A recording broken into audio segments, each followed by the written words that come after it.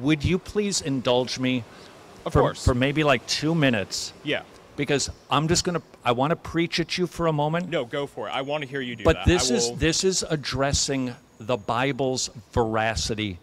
Here's how you can know the Bible is true. I've shared that we've talked about Adam and Eve being two naked vegetarians living in a garden with a river and two trees. Yeah. God gave them a law, they sinned. What did they do? They tried to cover their shame by themselves with fig leaves. Yeah. God sheds blood for the first time covering their sins. In other words, human beings can't cover their own shame. God must do it. Yeah. Now, the Bible continues. You see a story of Cain and Abel. Cain killed his brother Abel. What was the problem? He was upset because he offered vegetables. It wasn't a pleasing sacrifice to God.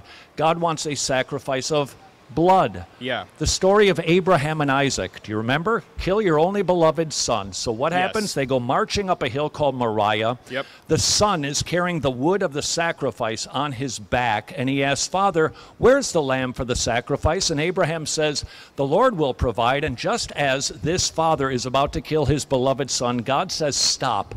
The next time we visit that same mountain, it is the very mountain on which Jesus Christ was crucified. The Father did not stop. When you read the Mosaic Law, Passover, an unblemished lamb had to be with the people for a short amount of time.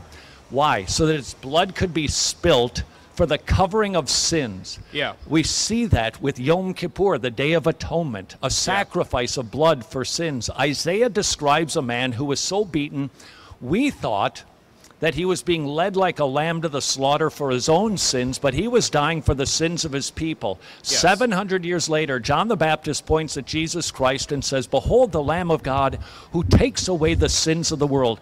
All of those bloody lamb sacrifice stories were a scarlet thread in the Old Testament pointing to the better sacrifice in Jesus Christ. Yeah. The Old Testament keeps going.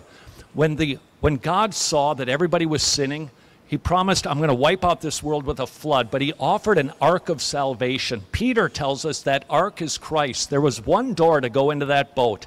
Jesus Christ is the door. Run through Jesus to get to the ark of your salvation. Yeah. There's a story when the Jews are wandering in the desert.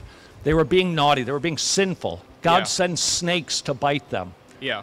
But he tells Moses, fashion a serpent, raise it on a pole, and if people will look to the curse, to the thing that is the response to their sins, they will live. Jesus Christ said, just as the serpent was raised up in the wilderness, so too must the Son of Man be raised up. So if you look at Christ, the sting of death will not take hold of you.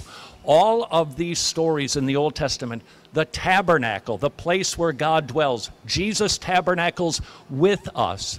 He is the ladder that we see with Jacob's ladder, when he said angels descending up and down on him. He is our surety, he is our city of refuge. All of these stories, he's our kinsman redeemer. The story of Ruth and Boaz, he redeems Ruth. Do you know that that was like the great, great, great, great grandparents of Jesus Christ? There's one lineage in the Bible. Yeah. It follows the lineage of Jesus Christ. Yeah. Now, I talked about the lambs. In the end, here's what the Bible says Yeah. God is going to wrap up this whole show and he's going to judge the world in righteousness. And this time, when Jesus returns, it's not as a meek lamb, he's coming back as a roaring lion who is going to crush his enemies and put them under his feet. You will cry out to the mountains, Crush me, fall on me, rather than facing the wrath of the Lamb. Yeah. He's going to redeem his people. He's going to restore the earth. And we see in Revelation 21 and 22 there's going to be a garden, there's going to be a river and two trees, and God will dwell with his people. Yeah. Do you see the bookends of the Bible? Do you see how everything is pointing to Christ? Yes. Now, that story that I just shared with you, lickety split, written over 1,400 years, 40 different author, authors, three different languages on three different continents. My friend, there is no way that story was concocted by man.